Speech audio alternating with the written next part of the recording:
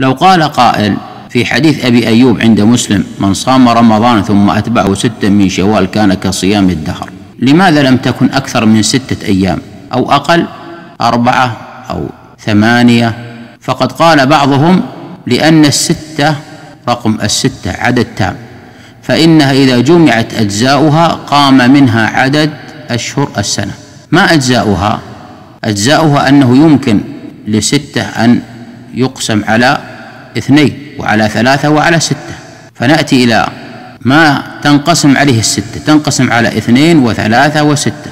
إذا لو جمعنا اثنين وثلاثة وستة صار المجموع أحد عشر. ويكمل بها شهر رمضان فيكون المجموع اثني عشر.